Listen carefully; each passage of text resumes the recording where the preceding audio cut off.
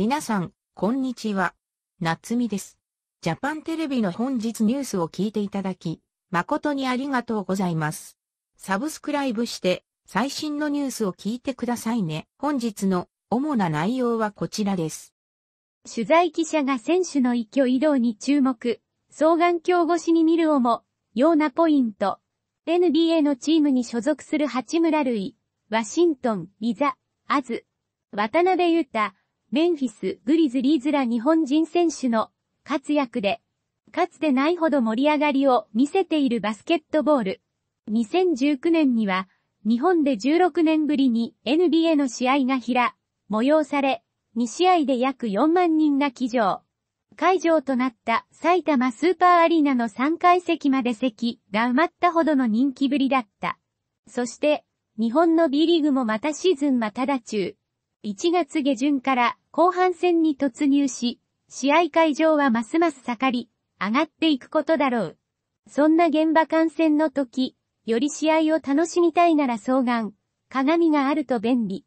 3階席などコートから距離があるところでも、選手の秒、情を見ることができる、表情を見ることができれば、試合の緊迫感がよりリアルに伝わってくるし、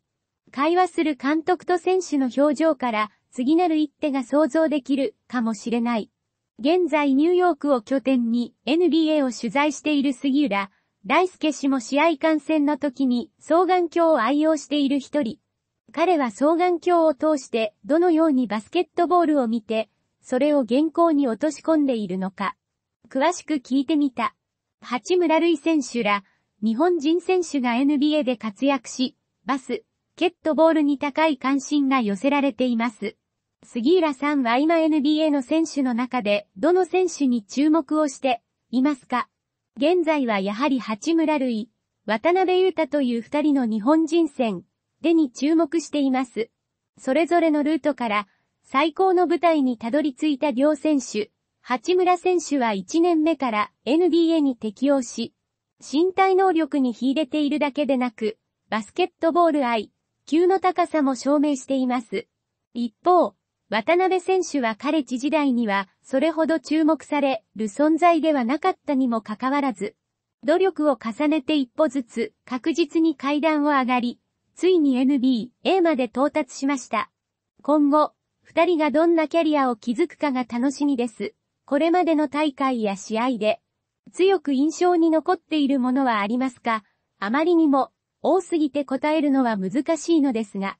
最近では2019年6月にラクターズ、カナダ、トロントがアメリカ以外のチームとしては初めてのファイナル制覇を果たしました。初優勝とは常に劇的なもの。ファイナル期間中のトロントは素晴らしい雰囲気になりました。ラプターズの勝ち上がりが見事だっただけでな。チームとファンの一体感が感じられたのが強く印象に残っています NBA を見るときにどんなところに注目していますか？これは取材するゲーム、チーム、選手次第。注目するポイントはその日によって違います。例えば最、地下の試合になりますが、ニューヨーク、ニックスが低迷しており、12月上旬にヘッドコーチ、監督が解任された直後のゲームを取材しました。新しいヘッドコーチが暫定的に指揮を取ったゲームだ、たので、戦術が上質でないのは仕方ない。そこで注目したのは、厳しい状況下での選手たちの姿勢、ボディランゲージ、コミュニケーションなどでした。それを双眼鏡で確認していました。その他、例えば昨シーズン MVP のヤニス・アデト君を、ミルウォーキー・バックス、ダラス・マーベリックスで売り出し中のルカ・ドンチツチのような選手を取材する際は、やはり彼らの個人技と周囲の評価に注目します。30代半ばになったレブロン、ジェームズ、ロサンゼルス、レイカーズの場合、オフェンスよりも、むしろディフェンス面でどれだけ献身的にプレーしているか、また、八村選手の出場試合では、必然的にその意挙移動、どの面で成長しているか、どんな点で向上の余地があるのかなどに注目することになります。バスケットボールを見る際、双眼鏡をどんな時に使って、どんなポイントを見ていますか？最近の NBA では、記者席がコートから遠くに設置されることが多く、選手がベンチにいる際の表情を肉眼で見るのが難しくなりました。プレーよりも、主に両チームのベンチの動き、表情を見る際に使用しています。双眼鏡を使うことで、どういうメリットがありますか？八村選手の例になりますが、八村塁は好調時も不調時も同じような姿勢でプレーに臨むことができる選手と、ウィザーズ内ではすでに評判になっています。実際にベンチにいる際の八村選手は常に戦う姿勢を保ち、自身がプレーしない時間帯でもチームメトたちを鼓舞している一時期、第4クォーターの勝負どころでプレーできないゲームが続いたのですが、そんな時期にも同じような態度で臨み、集中を切らしていないことが双眼鏡でよく確認できました。取材記者ならではの視点で、こんな場面を見ているというポイントはありますか？最近のテレビは、多くのアングルから映像を流しているので、プレイに関してはテレビでも十分だと思います。ただベンチでの姿や、あるいはロッカールームでの姿にも様々なストーリーがあります。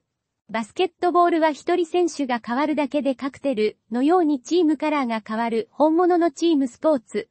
チームのケミストリーが大きな意味を持ってきます。それが全てではなく、あくまで一つの視点ですが、プレイしていない時の姿から何かが見えてくることもあります。そして、その何かはチーム、選手によって違いますので、そこも注目すべきポイントとして見ています。ニコン双眼鏡を実際使ってみて、以前使っていたものと比較してどんな違いがありますか？これまで使っていたものより明るく、綺麗に見えま。照明の加減によっては暗くなりがちな NBA のアリーナでも使用しやすいのが最大の良さです。また、作りがしっかりしているにもかかわらずコンパクトで、動きの激しいスポーツ取材にも向いていると感じています。双眼鏡の活用法で、こんなところを見たら面白そうという新しい活用法はありますか？特にアメリカのアリーナ、スタジアムには奇抜な服装の名物ファンが存在します。ニューヨークやロサンゼルスのアリーナでは、コート差、井戸に多数のセレブリティが陣取っていることで有名。そういった人たちをスタンドから探せるのも双眼鏡の勝つ、両方としては面白いかもしれません。バスケットボ。あるの青函戦の魅力はどんなところでしょうかあ、マリスポーツに詳しくない人にもわかりやすく、迫力があり、華やかで、約2時間半の完成されたエンターテイメントを楽しめるのが魅力だと言えます。テンポが速く、プレイ以外のアトラクションも充実しているため、選手の詳しい知識がなくても退屈することはないはず。これは NBA に限った話ではないですが、地元ファンと一緒になってホームチームを応援して盛り、上がるのが最も楽しめる手段だと思いますよ。